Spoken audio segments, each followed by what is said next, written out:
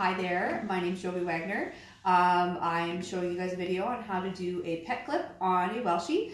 This is Sloppy Joe. I've already groomed half of him and we will go through the whole other side of him once we get started.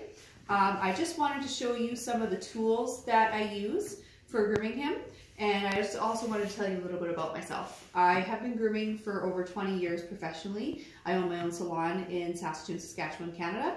Uh, I am one of the members of Groom Team Canada. I will be competing with a Welsh Terrier at Worlds next year, so that's pretty exciting. Um, and yeah, I just love this breed and I just want to help people understand how to groom them better. Okay, so these are the tools that I will be using on Joe. I have a comb, a slicker brush, a pair of thinning shears, a pair of straight scissors, curved scissors, a five blade, a seven blade, and my clipper, obviously. This is an undercoat rake, and I'll show you how to use this on him. You don't have to use it, but it is helpful for helping keep some of that color on them and also just pulling out a lot of the dead undercoat on them.